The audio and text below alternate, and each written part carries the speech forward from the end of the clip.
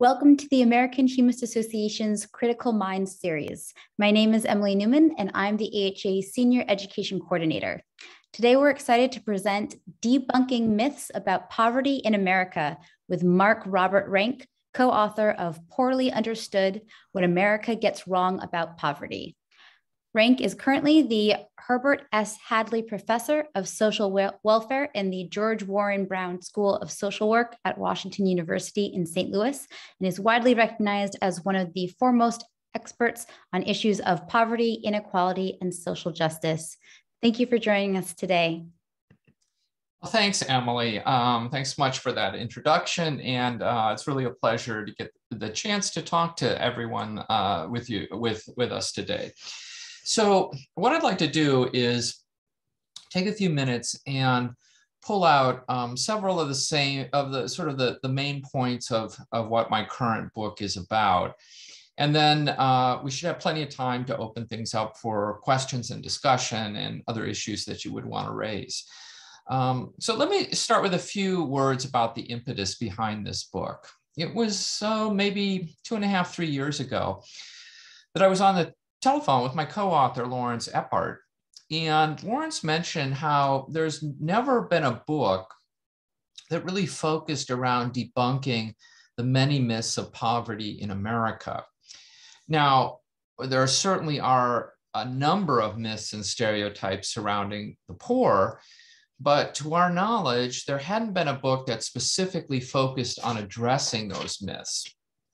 And we both thought that this would be a really interesting and a really important book that should be written. And so the two of us, along with our uh, other co-author, Heather Bullock, put together a list of some of the most widespread myths surrounding poverty, welfare, and inequality. And the result is the book that came out this year, which is entitled Poorly Understood, What America Gets Wrong About Poverty. And the book is divided into six different parts or sections. The first five sections of the book are organized around addressing the different myths of poverty, welfare, and inequality, while the final section asks the question, why do these myths continue despite evidence to the contrary? And what can we do to move beyond them? So with that in mind, um, what I'd like to do is take, you know, 25 minutes or so and focus on three specific myths uh, that I think are very important, and then uh, showing what the realities really are. The first myth, and this is one that we take on early in the book, is that poverty happens to someone else, but not to myself. That poverty is really an issue of them rather than an issue of us. The second myth that I want to take on is the myth that poverty, that the cost of poverty is really not very high, that poverty only affects those who experience it and perhaps their neighborhoods. And the third myth that I want to talk about is that poverty is the result of individual failure, such as not working hard enough. In each of these cases, what I'd like to do is briefly talk about the research and the evidence that confronts and challenges these myths and then I'll end up with a few thoughts on why the myths continue despite the evidence against them and what we can do in terms of policy to really address poverty. So let me start off with discussing my life course research into the risk of poverty. This line of work began a number of years ago with a really simple question, and that is, what's the likelihood that an American at some point in their lives would experience poverty. Now, one of the myths surrounding poverty is that it happens only to a small group of, of Americans, and it certainly doesn't happen to me. As I started thinking about this question a number of years ago, we really knew very little about what the lifetime risk of poverty was. So there's plenty of information about how many people are poor in any given year, and we knew uh, about how long people and how often they experience poverty, but we really knew very little about the long-term risk of poverty. And so by using a longitudinal data set that's called the panel study of income dynamics, this is a data set that's followed households every year since 1968 in the United States. My colleague Tom Hirschl and I um, have been able to shed some light on this question. And it turns out that the number of Americans who are touched by poverty during their lifetimes is actually quite high. So we've looked at this in several different ways, and the results are all pretty much the same. And I'll just mention a few of those. So, for example, between the ages of 20 and 75, it turns out that nearly 60% of Americans will experience at least one year below the official poverty line, and three quarters will experience either poverty or near poverty. We also looked at the likelihood of poverty using what's known as a relative measure. That is, what percentage of Americans will find themselves at some point in the bottom 20% of the income distribution and the bottom 10% of the income distribution. And what we found was that between the ages of 25 and 60, 62% of Americans will experience at least one year in the bottom 20% of the income distribution, and 42% of Americans will experience a year in the bottom 10% of the income distribution. If we focus on the use of a welfare or safety net program, we also find very high percentages. So for example, in one analysis, we looked at what percentage of children would be in a household that used the SNAP or food stamp program at some point during their childhood. And that percentage turned out to be 49% of all American children. And if we look at poverty from the broader perspective of significant economic insecurity, then we find an even higher incidence in terms of these numbers. So in an earlier book that I wrote called Chasing the American Dream, we constructed a measure of economic insecurity that included either using a safety net program falling below 150% of the poverty line or having a, the head of household um, being unemployed at some point during the year. So when we use this combined measure, what we found was that four out of five Americans will experience at least one year of significant economic insecurity between the ages of 25 and 60 and half of the population will experience three or more years of economic insecurity. Finally, in another analysis, we found that this life course risk of poverty has been rising from the 1970s onward. So in other words, the chances of experiencing poverty at some point in your life has been rising, even though the annual rates of poverty have remained roughly the same over this period of time. Now, the question that I'm often asked regarding these percentages is why are they so high? And the reason that they're so high is that during the course of a lifetime, any number of things can happen to people, many of which are unexpected and detrimental. So things like losing a job, a family splitting up, getting sick, experiencing a pandemic, when these events happen, there's very little in place to protect families from falling into poverty. So more and more families, including middle class families, are experiencing greater volatility and downward swings in their income as a result of greater instability in the labor market, along with the lack of benefits such as health and unemployment insurance. So jobs are no longer as stable as they once were. Retirement benefits are harder to get. Good medical coverage may be difficult to obtain. The safety net has weakened over time and so on. So rather than a risk that affects a few on the fringes of society, it turns out that poverty and the use of welfare are events that will actually strike the vast majority of American citizens. And this is really a fundamentally different way of understanding the issue. And it's one that implies that we all have a direct self interest in addressing the issue of poverty. Really, the topic of poverty shouldn't be thought of as an issue of them, it should be thought of as an issue of us.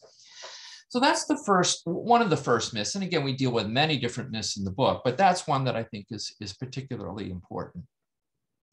A second myth that I've been interested in is that poverty as a whole um, really does not represent a sizable cost to the United States, that it really only impacts those who experience poverty and perhaps their neighborhoods. Now, there have been a couple of research studies that looked at the question of the economic costs of poverty, but there was a need for a more recent analysis. And so what I and a graduate student here at Washington University did was to focus on the question of estimating what's the annual cost of childhood poverty in the United States.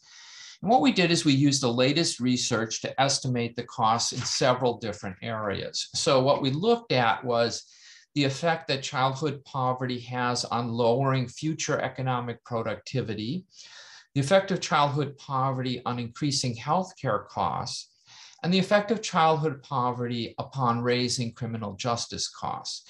So we know that poverty in childhood results in less economic productivity when children become adults. We know that it results in higher healthcare costs.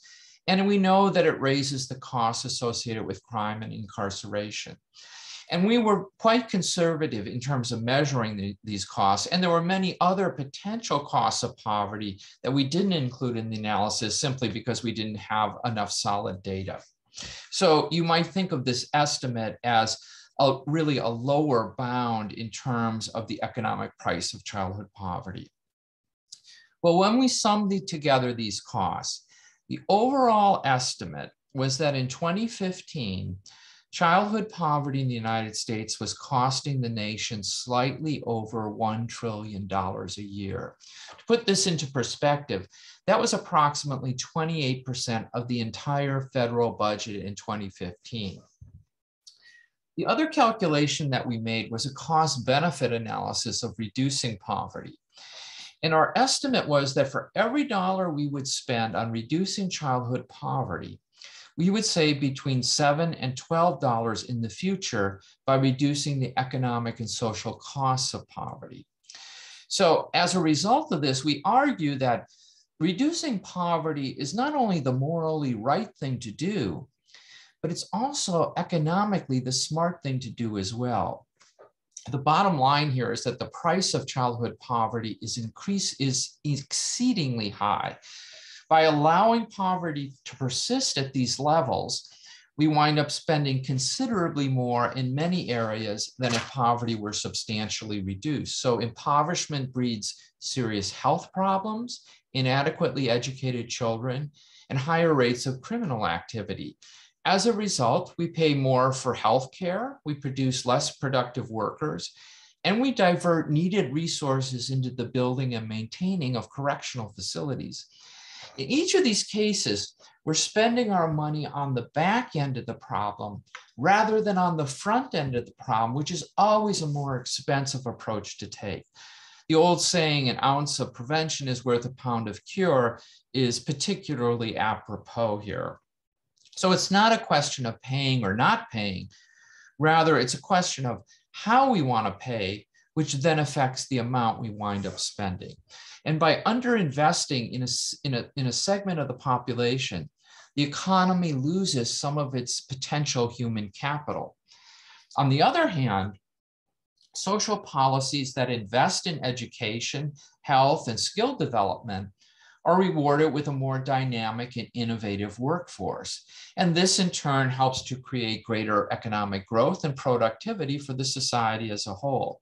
So by making an investment upfront to alleviate poverty, the evidence suggests that we will be repaid many times over in the lower costs associated with a host of social problems, as well as a more robust economy. So that's the second myth that we take on, which is the cost of poverty is really not very high. We show that actually it's exceedingly high and it would be much more effective if we were to deal with poverty rather than deal with the back end of poverty. Okay, so the third myth that I want to talk about, and one that we spend some time on in, in a couple of chapters dealing with, is uh, around the question of why, um, why do people experience poverty? Why does poverty exist in the United States? Now, the typical way that we thought about poverty in the US is that it's the result of some kind of individual failing, such as not working hard enough or not having adequate skills or education.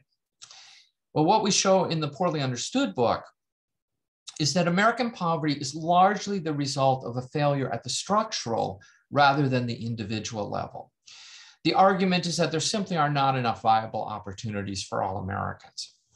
And the most obvious example of this is the mismatch between the number of decent paying jobs versus the pool of labor in search of such jobs.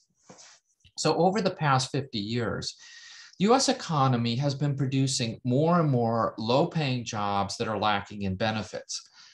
It's estimated that in the US today, about 40% of all jobs are considered low paying or less than $16 an hour. And of course, beyond these low paying jobs, there are millions of Americans that are unemployed at any point in time, and millions more that are working part time but want to be working full time. So there's a mismatch between those in need of decent paying jobs and the availability of such jobs. Now, exacerbating this situation is the fact that the American social safety net is extremely weak, resulting in sizable numbers of families falling through its rather large holes. The US has also failed to offer the types of universal coverage for childcare, medical coverage, or, or affordable housing that most other industrialized countries routinely provide. And the result of all this is an increasing number of families at risk of economic vulnerability and poverty. And, and the way that I like to illustrate this, and the way that it's illustrated in the book, is with the analogy to musical chairs. So what I say is, picture a game of musical chairs in which there are 10 players here, but only eight chairs available at any point in time. Now, those who are likely to lose out at this game will tend to have characteristics that put them at a disadvantage in terms of competing for the available chairs. Things like not as much agility, maybe not as quick, um, in a bad position when the music stops, and so on. However, given that the game is structured in a way such that two players are bound to lose, then these individual attributes only explain who in particular loses out, not why there are losers in the first place. And the critical mistake that's been made in the past is that we've equated the question of who loses out at the game with the question of why the game produces losers in the first place. They are, in fact, distinct and separate questions. So while characteristics such as deficiencies in skills or education or being in a single parent family help to explain who in the population is at a heightened risk of experiencing poverty, the fact that poverty exists in the first place results not from these characteristics, but rather from a failure of the economic and political structures to provide enough decent opportunities and supports in society. By focusing solely on individual characteristics such as education, we can shuffle people up or down in terms of their being more likely to land a job with good earnings. But we're still going to have somebody lose out if there aren't enough decent paying jobs to go around. In short, we're playing a large scale version of musical chairs in which there are many more players than there are chairs available. And I think the recognition of this dynamic represents a fundamental shift in thinking from our old ways of thinking. It helps to explain why the social policies of the past have largely been ineffective in reducing poverty.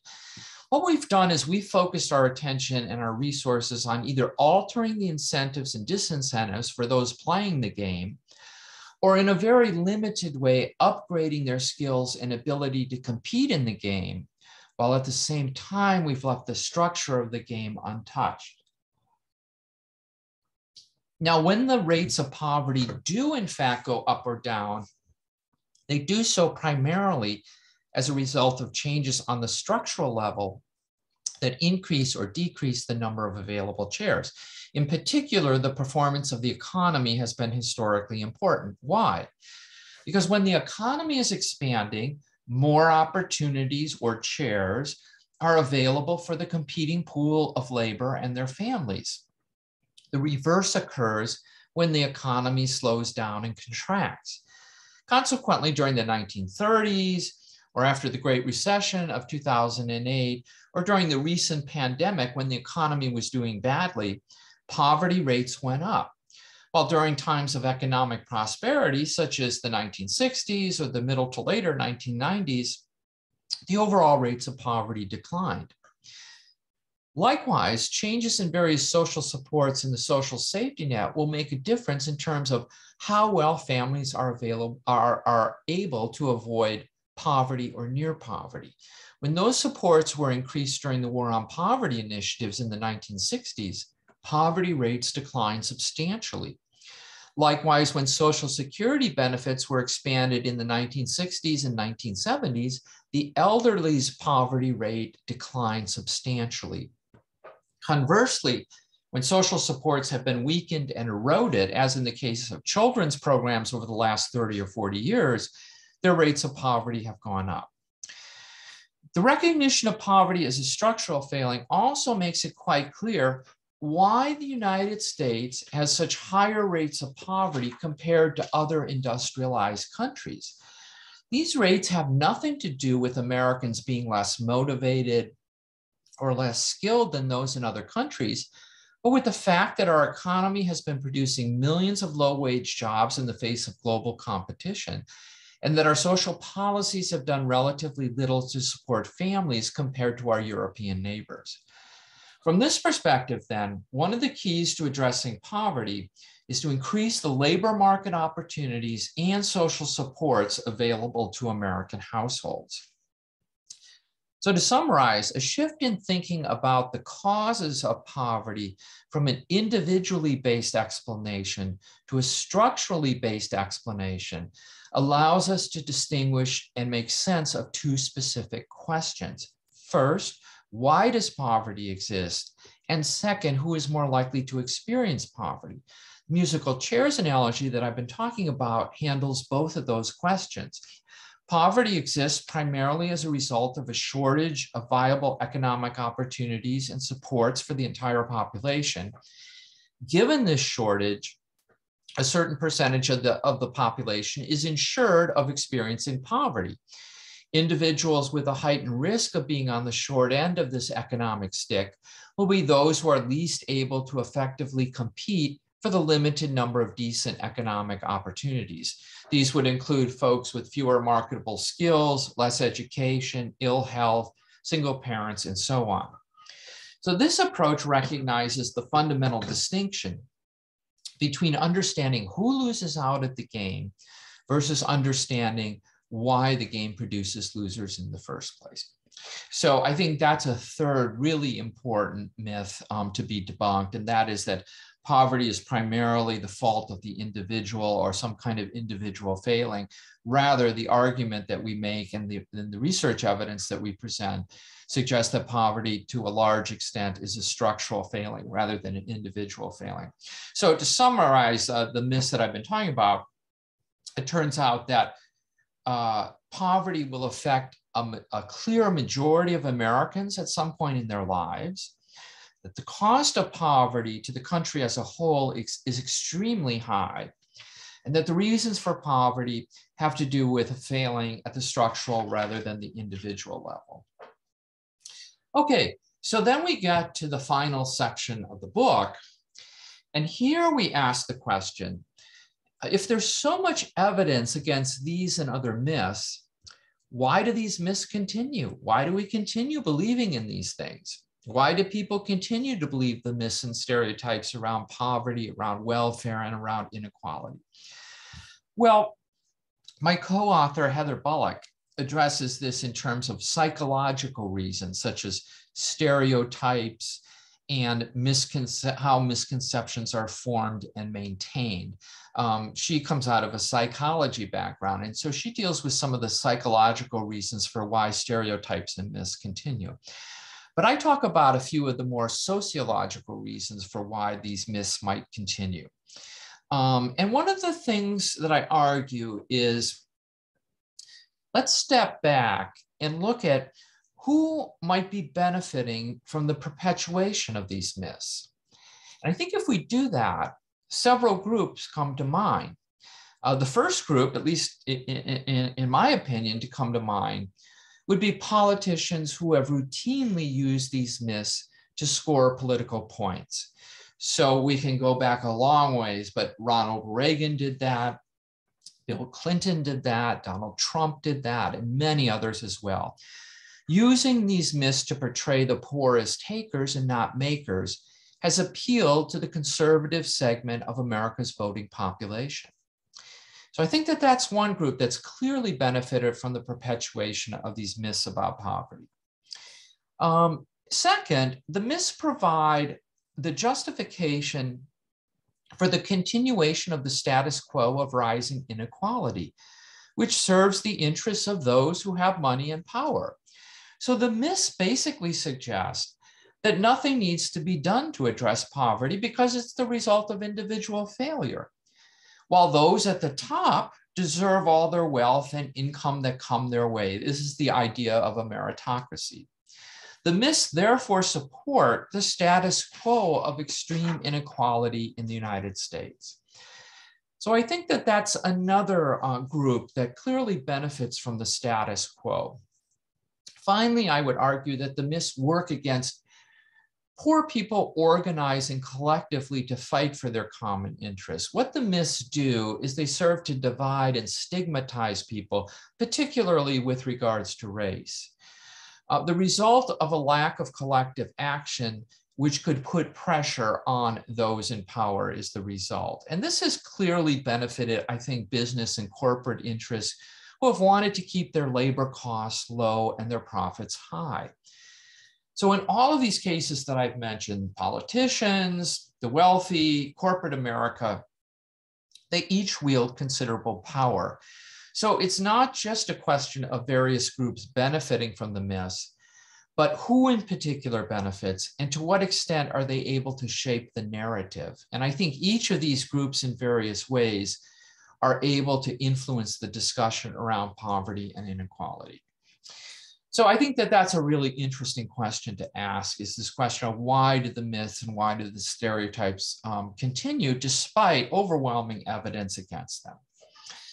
Okay, so then the last thing that we kind of take up here is what needs to be done to move forward and alleviate poverty. And the argument that we make in the book is that we need policies and initiatives that focus on changing the structure of the game, uh, uh, uh, going along the lines of the musical chairs analogy. Um, bringing more chairs into the game for those who are playing it. This would include um, increasing, obviously, the number of jobs that pay a livable wage, raising the minimum wage to at least $15 an hour, along with the earned income tax credit it would include providing the kinds of supports needed to lead a livable life, such as healthcare, childcare, affordable housing, and quality education for all children. It would include having a social safety net that protects people from poverty rather than punishing people who fall into poverty. And it would include policies that help build low income earners' assets such that they can access them in the future to move forward in their lives all of these, uh, I would argue, and many more, would begin to fundamentally reduce the risk of poverty. But the final question we take up in the book is: Do we have the, the do we have the political and the collective will to do so? And I think this is really the difficult one to deal with. Um, I think we we we have a lot of information about strategies to reduce poverty, um, but do we have the political and the collective will to do so? And I would say on this question, I've become guardedly optimistic. And I, and I say this for a couple of reasons. Over the last 10 years, there's been a rising awareness of inequality in the United States. I think this really began uh, with the Occupy movement in 2011 and 2012, where, if you will recall, the protest was on the idea of the 1% and the 99%. More recently, the Black Lives Matter movement has gained considerable traction in showing the vast inequalities in America around race and ethnicity. And finally, uh, the Biden administration has become quite proactive in addressing the needs of lower income households. So this has included the enactment over the next year of, a, of basically a child allowance, such that most families with children will, will receive three can receive $300 a month for help in raising those children. There's one estimate that such a child allowance could cut child poverty by up to 45%. Biden administration has also worked to raise the minimum wage up to $15 an hour. And in August, they expanded the um, benefits that families receive from the SNAP program. And I would say, you know, particularly the idea of a child allowance, a few years ago, these ideas and proposals would have been really viewed as totally unrealistic, but today they're part of the conversation. And maybe that's a, partly a result of the pandemic occurring and so many people being uh, thrown out of work and in economic turmoil. So I think these are all hopeful signs that we're beginning to shift our understanding of poverty as an issue of them to an issue of us the myths need to be replaced with a moral and an economic urgency that poverty can and must be eradicated. The moral ground on which we've typically viewed poverty is one of individual blame. And what I argue is that we need to view it as one of social injustice. So as a good author um, will often do, let me um, end my comments with a, with a couple of, just to read a couple paragraphs from the end of the book. Um, and this particular chapter focuses on uh, this idea of how do we create the change um, to really address poverty? How do we as individuals create that change? And I think that's really a fundamental question here. So uh, I'll just read the last couple of paragraphs here. Um, we began this book by noting that there are few subjects with as many myths, stereotypes, and misperceptions surrounding them as poverty in America. Throughout these pages, we have sought to set the record straight. We've looked at who actually experiences poverty, why poverty exists, the costs of poverty, what the facts are regarding the social safety net, and the realities of the wider context of inequality in American society. We encourage you, our readers, to use this information as a valuable tool in creating the kinds of changes that we've been discussing in this chapter. Diagnosing the scope and cause of a problem is a first step toward addressing that problem. A second step is using that diagnosis to shift the prevailing status quo mentality to one of social action. A third step is building the momentum to leverage a change in how we address the problem. Ultimately, such change begins with each of us.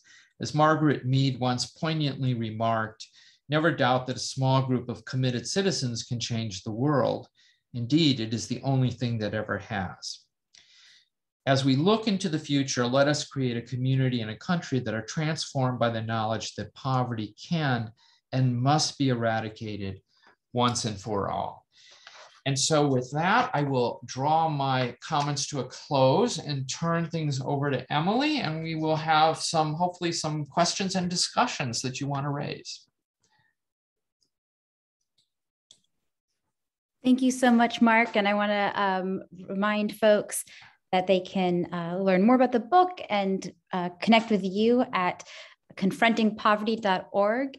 Um, thank you to the folks that have submitted some questions. We can we'll see how many we can get to, and then we will also, um, if we don't get to questions, save them and share them with Mark to see if we can respond in another way.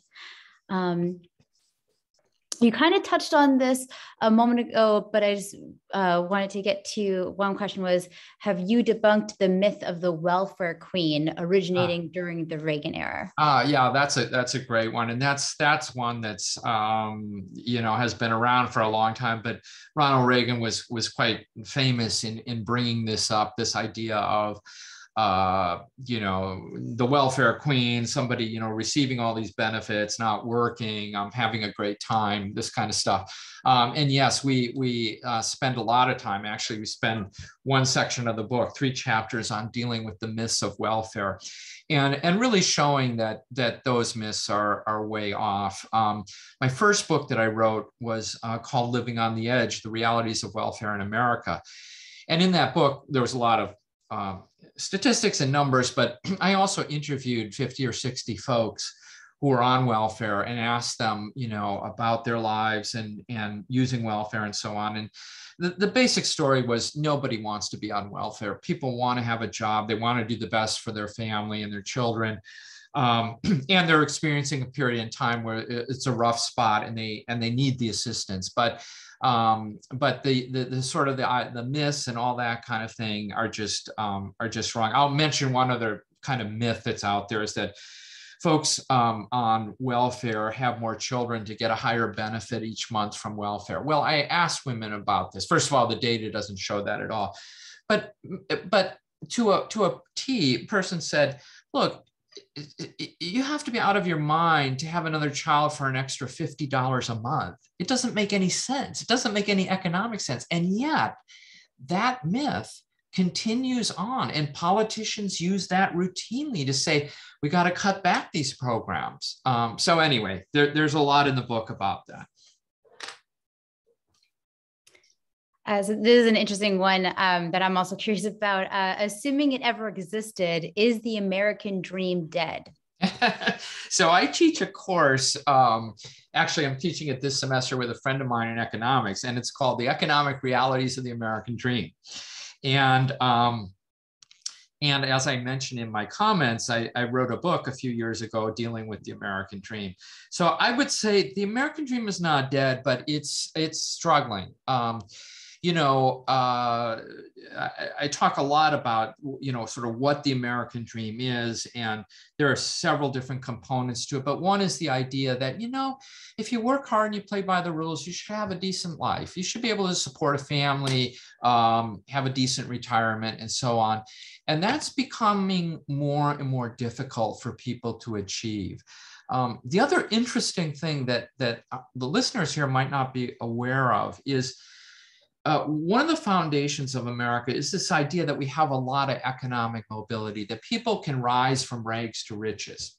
Now, that certainly occurs, but it's becoming harder and harder for folks to do that. And it turns out actually that today in the United States, there's less economic mobility than in many other industrialized countries. In fact, one commenter said, if you really want to experience the American dream, you should go to Denmark because in Denmark, there's actually more economic mobility than there is in the United States. And one way to imagine this is that inequality in the US has been getting wider and wider over the last 50 years. The difference between the bottom and the top is wider now. And so you might think the rungs on the ladder of opportunity are getting further apart, which is making it more difficult for people to climb that ladder. And that's what's been happening, um, unfortunately, really since the, the early 1970s onward. I wonder also if the American dream has sort of morphed or been reimagined as, uh, with the uh, aging of different gener- uh, generations. So, you know, there's often kind of a lot of uh, shade being thrown at millennials for not um, supporting certain industries and not, and almost not being capitalistic enough uh, to support the you know previous uh, ideals of America. Yeah, you know, but I, I, would say, you know, what, and I mentioned earlier, you know, that I, I kind of, I, what I did is I, I interviewed um, 75 people around the St. Louis area from all walks of life from somebody who is homeless to um, somebody with over a billion dollars worth of assets and everybody in between and ask them about what is the american dream and and very few people sort of put it into materialistic terms. What they said oftentimes was you know the american dream is really having the freedom to pursue your passion what you want to do in your life whatever that may be a second component was this idea that I mentioned of, you know, if you work hard and, and play the play by the rules, you should have a okay economic stability and so on. Not that you're going to be rich, but that you should do okay. And the other component of the American dream that a lot of people talked about was the idea of optimism that the future is going to be better than the past. My children are going to do better than I did. Each generation is going to do better than the previous generation those were kind of the three components of the American dream. And I would, I would argue that millennials probably also believe in those things as well. Um, but as I said, it's becoming harder and harder to, um, to really have to, to have those elements of the American dream fulfilled uh, because of what's been going on in the United States again over the last 50 years. oh, we have a um, attendee asking if you have some thoughts on how we actually can shift the idealization of wealth, kind of move from that idea of rags to riches to more of rags to regular or you know uh, comfortable living. Yeah. Um, well, I I think um, you know, uh, I mean, the, the more fundamental question here is, and this is a question for all of us to think about here in this group, you know, how do we change the mindset? Um, you know, one I mentioned, I'm teaching, I teach a course on the American dream. And one of the things that we that we argue is that the American dream actually is very steeped in the idea of individualism, of rugged individualism. So when I said freedom to pursue, you know, it's like my freedom to pursue my passion. Um, you know, I want to do well in terms of economic security, and I want my children to do better than I do. It's, it tends to be a very individualistic kind of dream. Whereas um, in other countries, there often is more of a kind of collective dream that, you know, we're all in this together. And I, you know, we're, as a country, we're very steeped in individualism. And there's some very positive things about that, but there's some very negative things. And I would argue that we really need to start going beyond this idea of rugged individualism. That, you know, this is what I was saying about individual poverty is seen as individual failure rather than as structural failure, because we're very steeped in this idea of rugged individualism. You do it on your own, you don't you don't depend on others. Um, and it may be that you know, one of the big change, sometimes big changes happen because of economic structural changes. With the Great Depression, we really saw a change in the role of government. Social Security came into play, unemployment insurance, other things as well. Perhaps we're also at a time with the pandemic and a lot of economic turmoil that we might begin to reassess where we are in terms of the country. So that's a, a long winded answer.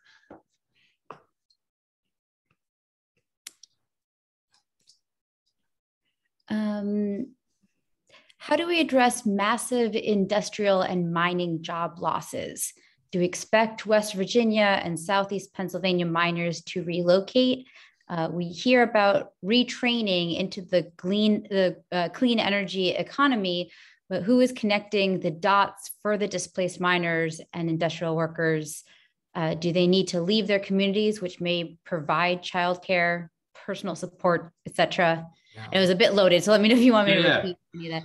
Yeah, yeah. So, um, you know, again, this is a question. My economist friend, we we, we often talk about this. Um, you know, I the country is not going back to coal mining. I mean, that is not the future, um, uh, regardless of what President Trump was saying. Um, but it turns out, and don't quote me on this, but uh, I believe that in the coal industry, coal miners right now, it's around 300,000 people. This is in a country of 330 million people.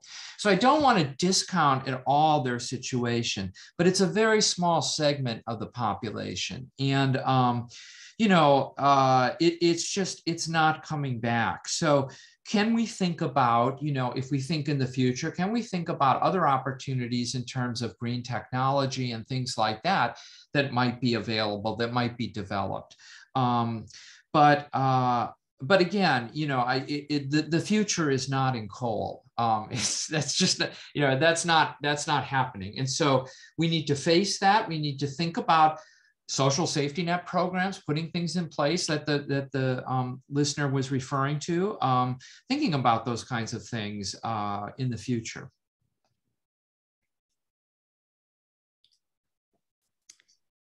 Um, what is it about America that kept it from following the path of other industrialized nations? And I'm going to expand that to also, you know, if you want to share maybe some things that you think uh, other nations are doing well that America really should be paying more attention to. Yeah, that's that's a really good question. So, I would argue, and I had a book a couple years ago um, that that was focusing on rugged individual individualism. I would say our history is really steeped in this idea of rugged individualism and self-reliance that you know people came here this was a new country starting you know a new life um, you the frontier and the idea of you know being self-reliant and not depending on others you know we're we're very much steeped uh, for you know all of our history basically in this in this notion of rugged individualism well if you're steeped in that um, you're not going to have a strong social safety net. You're not going to have things in place to protect people. And so I think that's one of the reasons why we're such an outlier compared to other countries. We're the only industrialized country that doesn't have universal health care. We're one of, of four or five countries in the world that don't provide some kind of paid maternity leave. Um, uh, I think New Guinea is one of those countries, and a couple other countries in uh, in in the uh, in the Pacific Islands um, you know, we're very, very much of an outlier here in terms in terms of those things.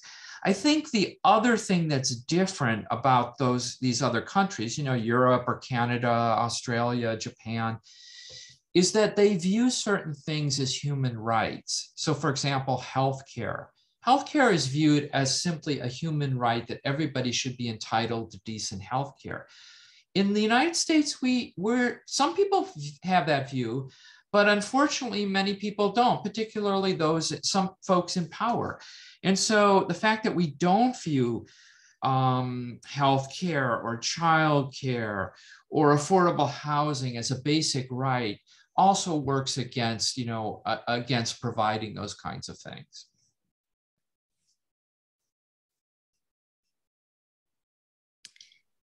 Are corporations and mid sized companies able to afford wages that will prevent poverty? Uh, I would I would think so. Yeah. Um, I, you know, I'm not I'm I'm trained as a sociologist, not as an economist, but um, I would think so. I would think you know if you look at um, the corporate earnings of of Amazon and and you know down the list. Um, they're fairly astronomical uh, you know and so yeah i think i think that corporations can do that now what about a small kind of mom and pop business um, that has you know a small number of um, of folks working for them. I think that we can provide some kind of assistance. Uh, there's also another way of getting wages up that I, I think I might have briefly mentioned, and that's what's known as the earned income tax credit. What that does is for workers that are that fall below a certain income level, they can get a tax credit at the end of the year, which is refundable, that gets their wages up a little bit. Now that puts the onus on the taxpayer rather than on the employer. And one can argue that, you know, in certain situations, that's probably correct. So um, yeah, I, I, think I think we can, and I think you know again, if you if we look at what's happened with inequality, it's become astronomical in the United States. Let me give you one sort of analogy here that that you hold on to this.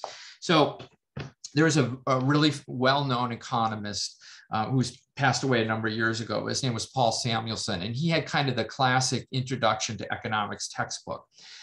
And in 1948, the first edition of that textbook, he said, if, if we were to build an, an income pyramid in the United States out of children's play blocks, and each block represented $1,000 of income, in 1948, this income pyramid, most of us would be within a yard or two of the ground. And the top of the income pyramid, in other words, those at the top of the income distribution, would be represented by the Eiffel Tower.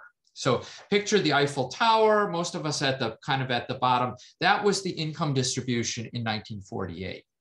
In 2001, the last edition of his textbook, we most of us would still be within a yard of the ground in terms of this income pyramid. But now the peak, instead of the Eiffel Tower, would have to be represented by Mount Everest. And that demonstrates how inequality has gotten so much wider in the United States. And almost all of the economic benefits have gone to the top 20, 10, 5, 1% of the income distribution. So yes, I think we can afford to pay workers at the bottom more than they're getting now. We're getting um, some some chats and questions in terms of uh, the the need to uh, support um, women and and uh, families with children, um, and uh, how the also the concern about um, blocking uh, contraception and abortion has kind of increased um, uh, poverty uh, for in many areas. Um, and this is kind of links to a, previous talk that we had actually about uh, from uh, Riane um, Eisler about creating a more caring economy kind of requires us to really support uh, the the caregivers, be they taking care of children or um, or um, aging parents. I wonder if you want to kind of touch on um, the you know the the intersectionality of the idea of how we take care of our reproductive justice also affects our economy and the the health of um, our population. Yeah that's a lot. That's a lot to take on there. Um, you know I, I, guess i would just say that uh, you know there there are few jobs more important than caregivers than than folks who are taking care of our children of of our elderly and yet unfortunately they tend to be the lowest paid uh, some of the lowest paid workers you know and um, to me you know i mean i mean you guys are you know um, humanist kind of uh, values and these kinds of things. And to me um, the value of that work is just so important and yet we pay people so little to do that. And uh, i think that there's something wrong there that again we we can, we we should be able to provide you know um, better supports for for those folks um, how important is organized labor, like labor unions, in mm. alleviating poverty? Yeah, that's a good, that's a really good question. And um, I, I, the argument that I would make is that you know, organized labor really reached a peak in the 1950s in the United States. In the in the 1950s, about one out of three workers in the private sector were in some kind of unionized job. Today, it's around 6%. Um, so there's been a, a, huge decline over time. And I think that that's been part, uh, that, that that has partially resulted in this rising inequality. It's certainly not the only factor. There are many others as well. But the weakening of unions over this period of time has really hurt workers. You know, unions are designed to support um, the rights of workers and to and and their their their work environment and um, and that has really been uh, you know really decimated over the last 50 years. Particularly again there was a the earlier question about ronald reagan. Um, one of the first things that ronald reagan did was to basically fire the air traffic controllers. And that really um, set loose um, uh, attacks on unionization. And so, um, you know, uh, are unions going to come back? Well, I, I think it's difficult, but unions are trying to think about organizing in uh, areas outside of manufacturing, because as we know, manufacturing has been declining in the United States significantly. Um, can we think about organizing fast food workers and service workers and things like that? That's where the union activity is happening today. And um, and you know they're one of the the few organizations that is you know designed to help basically um, you know workers and and particularly low income workers and that connects to a, point that um, another person named Mark uh, was had written out about um, the field of agno- agnotology, the study of how people are kept ignorant, and that kind that makes it kind of easier oh. um, for uh, for folks to be to criticize unions or an example he gave um, be able to uh, for the tobacco companies to spread you know uh, misinformation um, and allows for the politicians as you mentioned earlier to kind of keep with their the narrative that works for them. I wonder if you have uh, some recommendations on how you know we as sort of um, active, engaged citizens can help kind of break those uh, harmful uh, patterns and uh, misinformation spreading. Yeah, that's really interesting. So, what, what was that phrase? Ignore, ignore. Uh, agnotology. It's A G N O T O L O G Y. Okay, that's a new one for me, but um, the idea of uh, of people not having information and and and uh, you know some folks wanting people to remain ignorant has certainly um, certainly been uh, something that's been around for a long time. But you know, I, I would argue particularly um, you know with uh, uh, President Trump uh, in power and this idea of false facts and all of these kinds of things. The other thing that I, will just mention here, um, which is kind of related to this, and let me um, let me just uh, find this here. Um, here we go. Is and this is this is is again related to this is that in this country, um, race has often been used to divide poor whites and poor blacks. Um, politicians, particularly Southern politicians, have done this over and over again.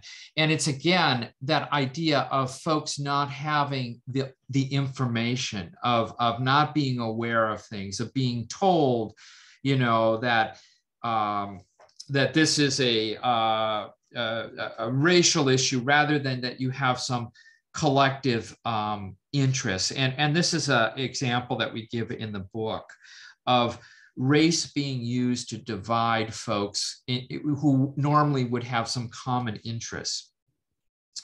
And so this is a quote, uh, the, the, the, the, paragraph says, an example of this um, comes from President Lyndon Johnson. Uh, as he explained to an aide in 1960, and then here's the quote, I'll tell you what's at the bottom of it if you can convince the lowest white man that he's better than the best colored man, he won't notice you picking his pocket. Hell, give him somebody to look down on and he'll empty his pockets for you. And that's exactly what has happened in the United States. Race has been used to divide folks who should have some strong common interests. And that's been on, that has been, that is not an accident. You know, it's, it gets to the, to the, to the listeners kind of comment about keeping people ignorant of what's really going on here.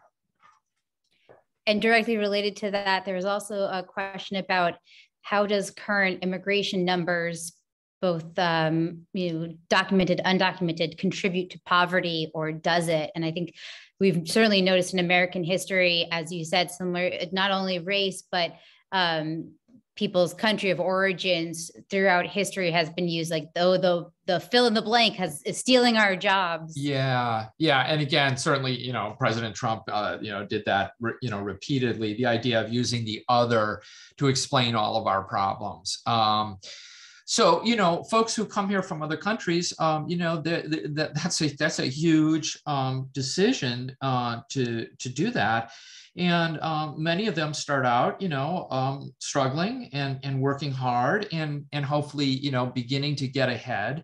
Um, and, you know, with undocumented um, laborers, uh, we just don't really have a lot of good information about that in terms of poverty. But um, I mean, I would argue that a lot of undocumented laborers are working at low wage jobs. Um, uh, and uh, are probably not not earning very much, although they might be very well earning more than they did in the country that they were coming from, which is why they come, which you know, which is really the reason why people come here. People come here for a better life, for um, to to do better in their lives. That's what this country is about. Um, you know so when we when we sort of talk about immigrants as the other i mean this country was based on immigration. That's what we're all from somewhere uh, except for native americans and they actually came here from across the bering strait. Um, so so yeah uh, and also connected to that, um, we had a request for you to speak to the disingenuous accusation of quote calling efforts to reduce poverty as socialists um, and also address the claim by Rich that they deserve higher multiples of moderate wages. Yeah, so this is, you know, this is this issue of um, of really it's an issue of the the belief in the meritocracy and meritocracy being defined in terms of income. That if you have a lot of income you deserve it. If you don't have a lot of income you also deserve it. Um, and uh, and that's what you know that that that is this huge myth and stereotype that's out there and um, you know, that there are that it, it, certainly there are things that we can do as individuals, but you know, one of the big points here is that there are really strong structural kind of elements here. You know, there just aren't enough jobs that pay a decent wage, and somebody's going to lose out.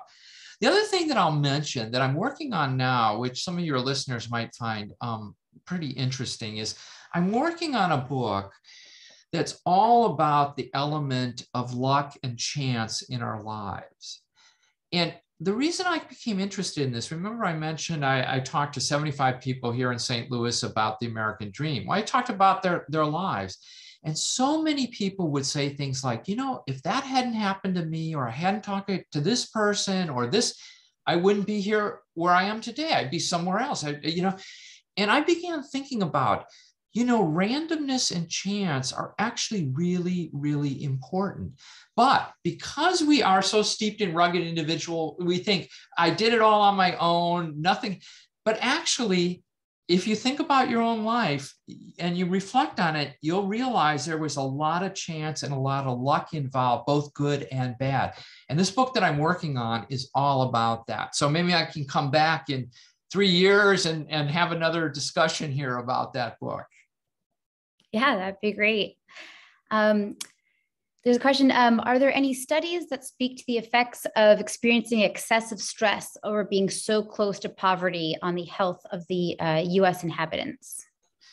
Yeah, so there's there's a huge amount of uh, work in, uh, in research in um, in epidemiology and public health, you know, that shows that um, basically it shows that health, uh, uh, the status of one, one's health is directly proportional to where you stand on the income distribution.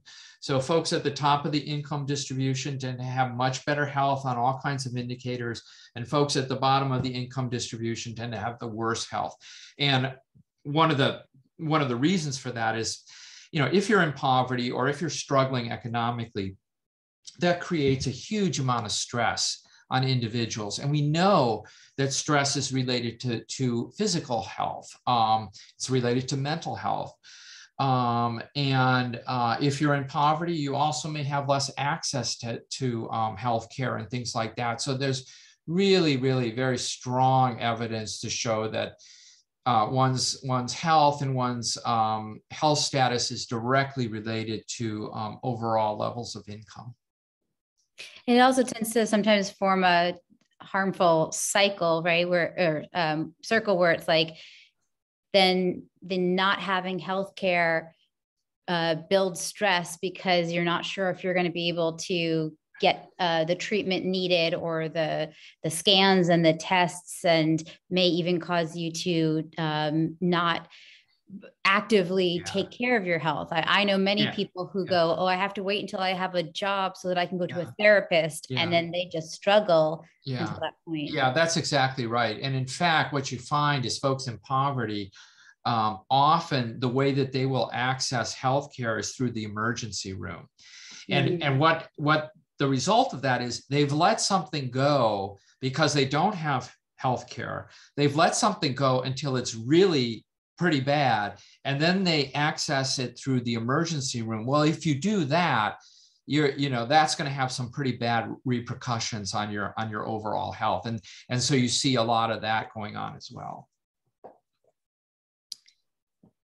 Uh, we had someone kind of interested if you can provide some data or studies that they could cite to um, either refute the claim um, that uh, welfare uh, erodes the family structure and drains the initiative of uh, self-improvement or um, or better understand or sources that can help better understand how welfare programs need to be modified to be more effective um, and in setting people up for success. So um, so I, as you were saying that i was thinking of kind of something sort, sort of related but a little a little different but let me so you had mentioned and, and i just want to make um, available to everyone listening um, I, you know, I'm in the academic world and I, you know, do research and I teach courses and things like that here at, at Washington University. But one of the things I really wanted to do was to say, okay, how can I take this research and this knowledge and make it more accessible to more people, to the general population out there.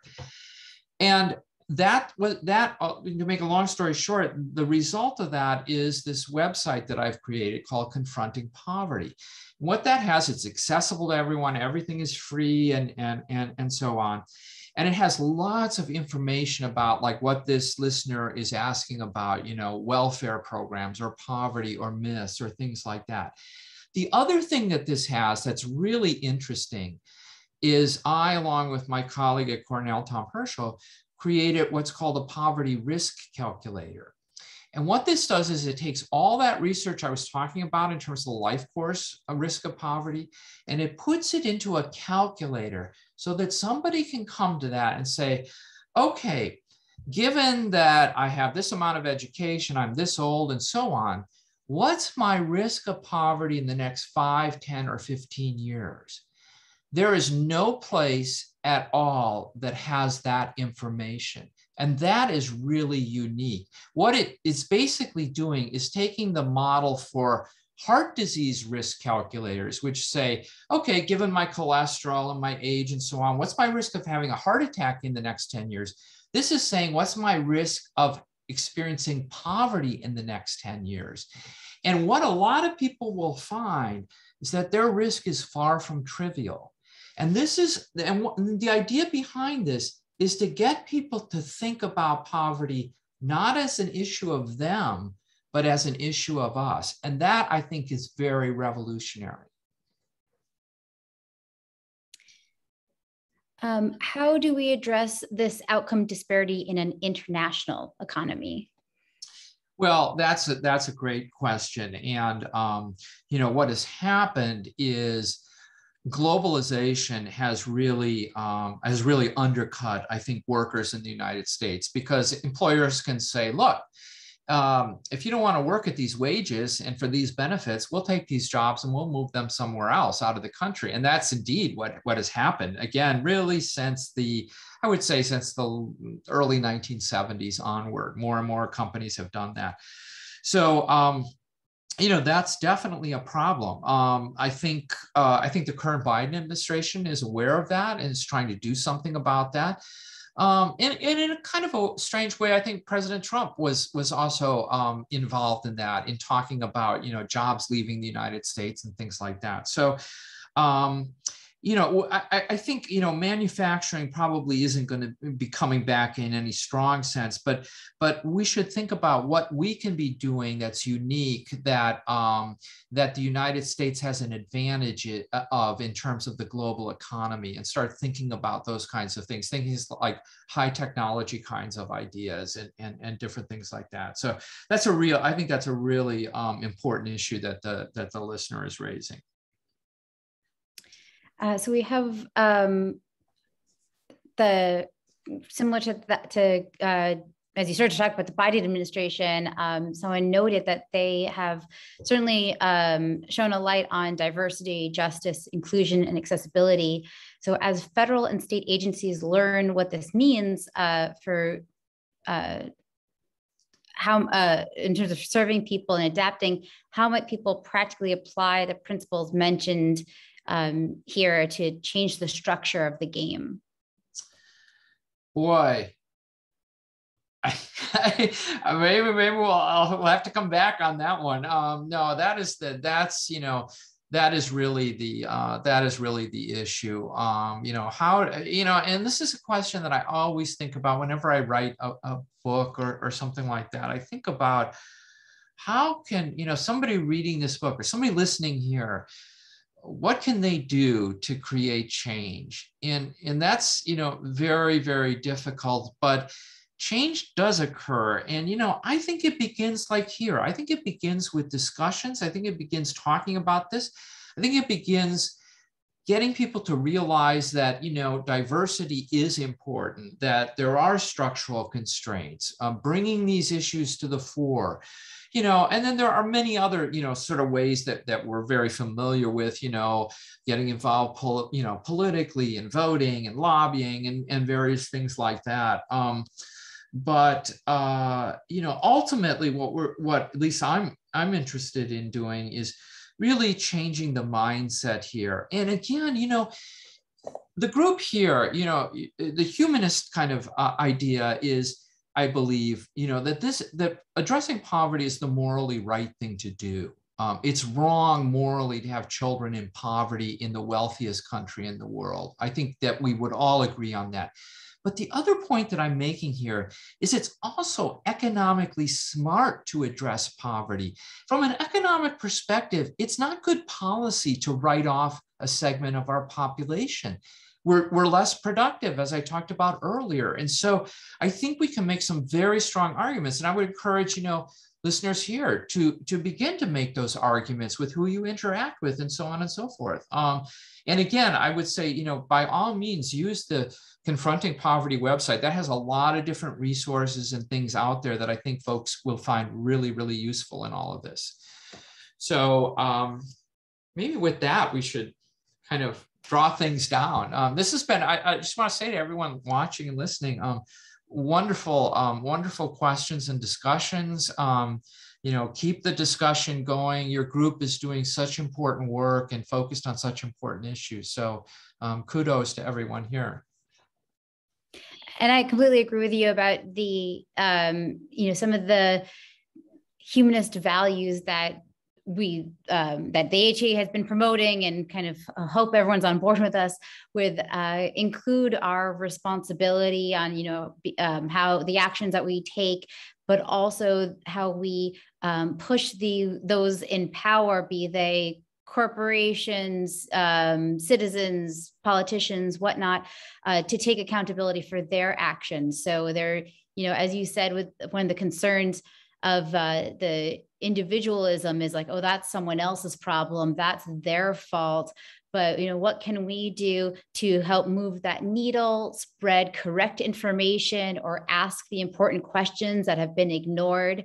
Uh, you got one comment here about uh, how social media, especially with like TikTok lately, has been a great source for kind of breaking down challenging concepts mm-hmm. into more digestible uh, videos that really kind of get people thinking outside of, um, you know, maybe the the communities or the assumptions that they're surrounded by. Yeah, yeah, very well put, Emily. Um, well, great. Do you um, we uh, thank everybody for for submitting your questions. Um, and we'll i'll certainly share i know that the, the, chat was buzzing so i will make sure that uh, mark gets to see that um, later on. And um, just wanted to check if you had another uh, last uh, you know final thought and call to action yeah. to share yeah. yeah um, well yeah definitely call to action. Um, and and I, I, guess what i would would say is anybody that wants to um, follow up with me i'm more than happy to um, to uh, engage in discussion with you. Um, if you if you go to the confronting poverty website it has my email address. Feel free to send me an email. Um, i'm always happy to talk or, or chat about these issues. And, uh, and, and again, I would just say, I just, you know, I think your point, Emily, about the um, what is our collective responsibility um, is is such an important point um, that we need to think about. What what is my responsibility for my for my um, for my um, area, my city, my state, my country, my world. Um, what what responsibility do I have? And I think we, you know we we all definitely have a responsibility in that. So so I think that's a really good kind of ending comment to to have. Awesome. Thank you again, and certainly look forward to bringing you back if you've got more books um, and to share with us. And uh, again, want to thank um, all of our attendees. And I invite you to visit AmericanHumanist.org for more information to become a member and to support our work. We hope to see you at future events online and in person. So, goodbye, everybody.